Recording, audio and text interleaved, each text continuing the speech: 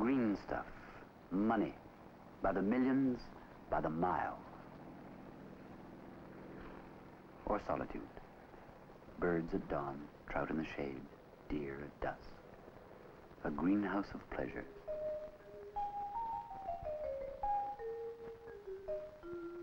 The forests of Canada that harassed the explorers, terrified the settlers, but lured the trappers west, have little left to hide.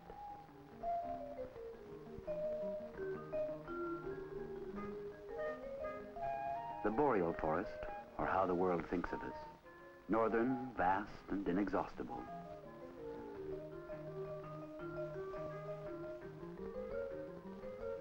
The coastal region, densely crowded in between ocean shores and mountains. Subalpine growths scrambling round their high slopes. And dropped between the dry montane, where ranches lie in the valleys.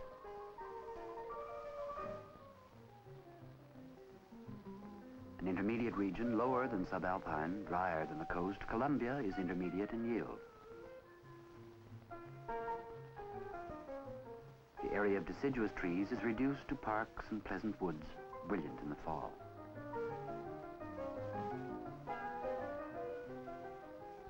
In spring, along the Great Lakes and down the St. Lawrence, white pine is shipped to the mills and the sap runs in the maples.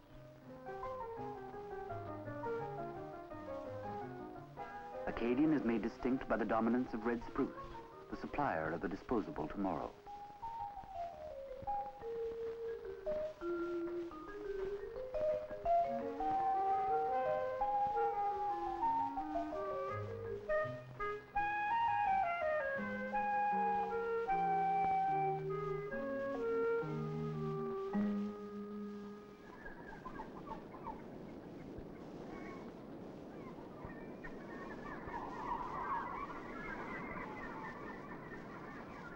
In the Acadian forest, early settlers found game, but fuel too, and wood for shelter.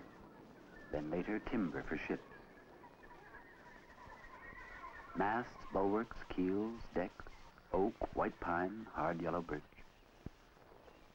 There are forests left, but most common are the woodlots.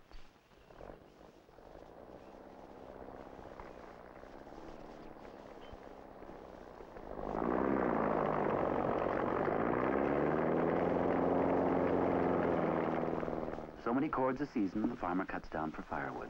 The surplus he sells to a pulp mill. But it's not worth his while to mechanize. There's no great profit from a woodlot, but with care, it's dependable.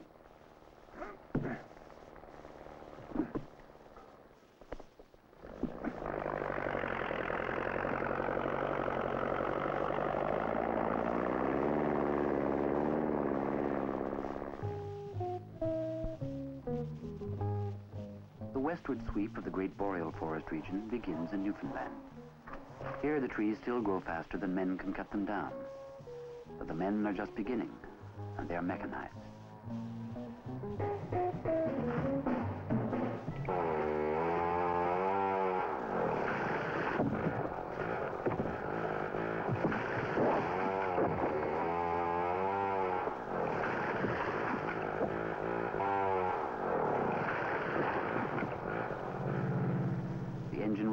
Ship was the first training ground for many Newfoundland loggers.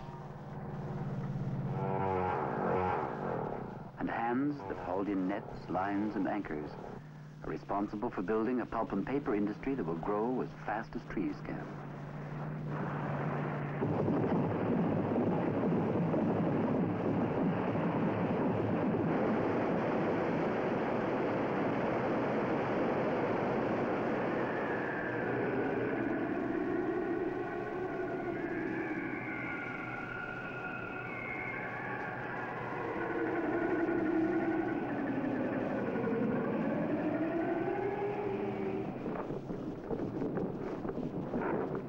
St. Lawrence, loggers and raftsmen were heroes of our first folk songs.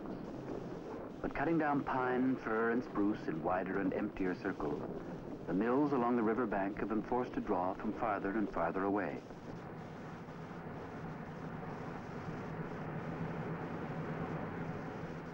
As the distance increases, so does demand, so does the cost, and the folk songs are dying.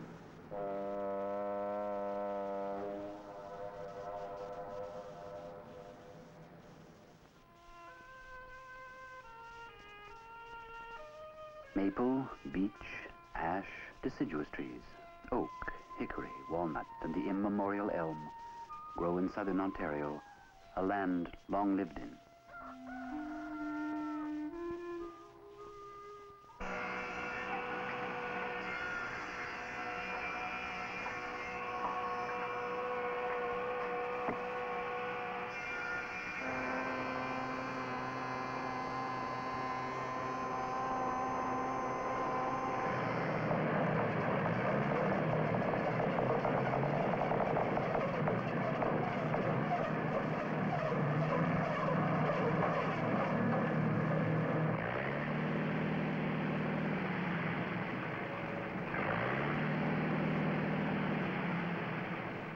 The machines used in the boreal woods north of Lake Superior glean trunk, branch, and twig.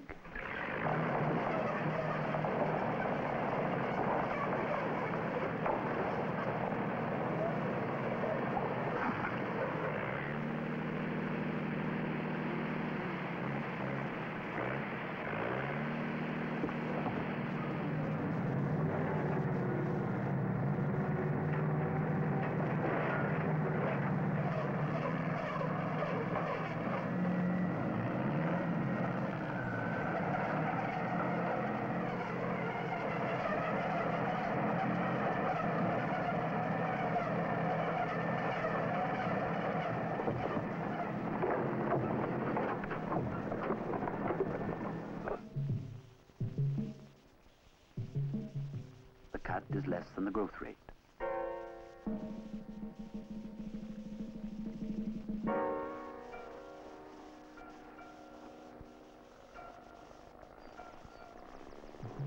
How the forest floor has been affected by heavy machines, we will only know as seedlings mature.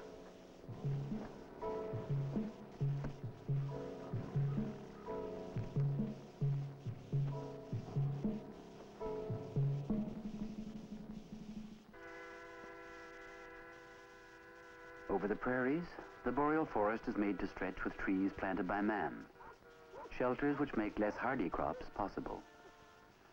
Poplars and birches stand between the long send of wind and fields of hybrid seed.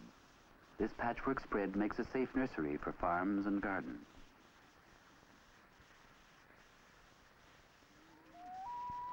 The Columbia Forest region, like all the others, must be logged with foresight and after assessment of its promise.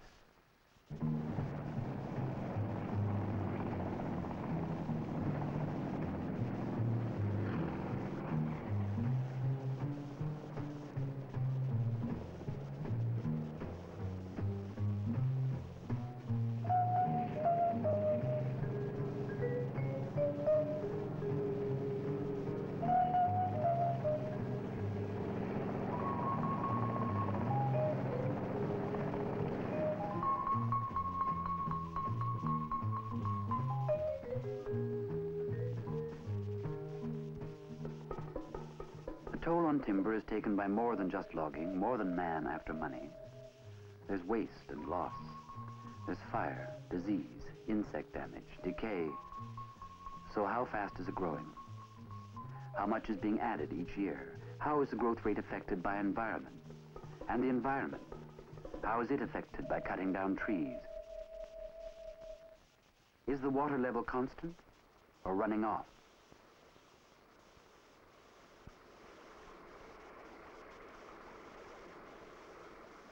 Subalpine slopes lose soil in a swift runoff. Roots need soil, and soil needs moisture to grow roots. The lower slopes and the valleys of the montane need the moisture from above, fed gradually, lastingly into summer.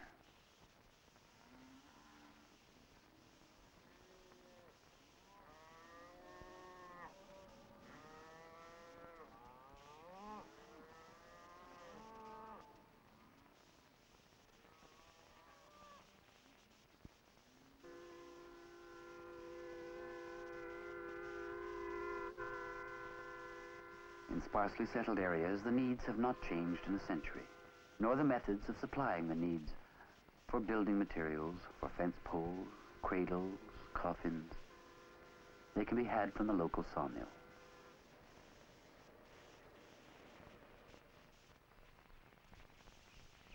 But the boreal wilderness regions are often the densest because they are in the wilderness, far from mills, though the mills are coming to them at last.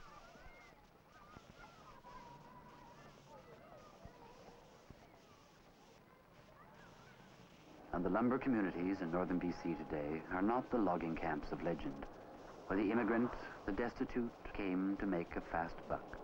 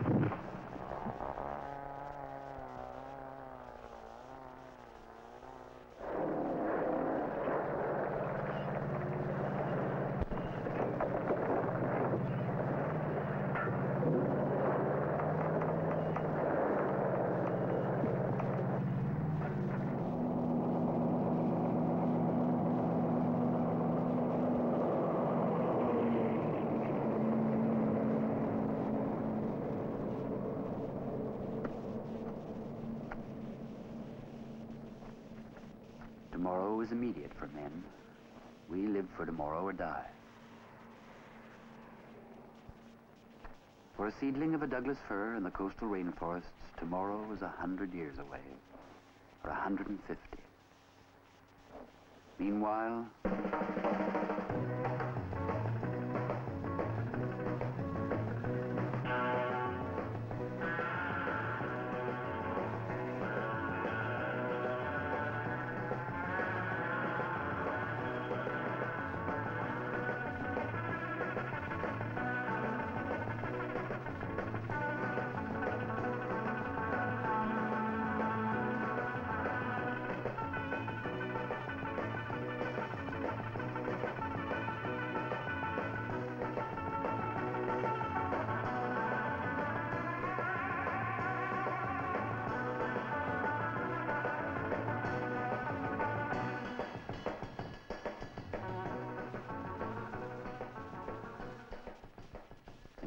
steel, concrete, glass, the need for wood is increasing as wood takes strange new forms.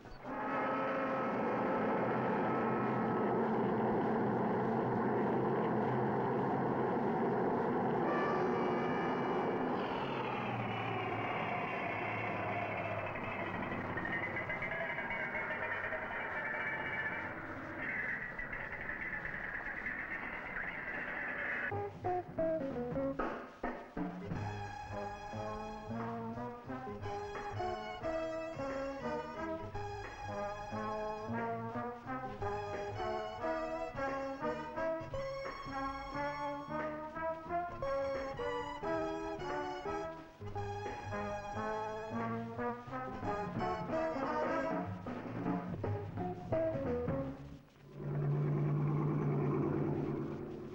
wood, we have squeezed ethyl alcohol, artificial flavoring, synthetic fibers. With each new use for wood, our forests become more valuable to our economy. While for the old uses, they become year by year more precious to us. More precious by far.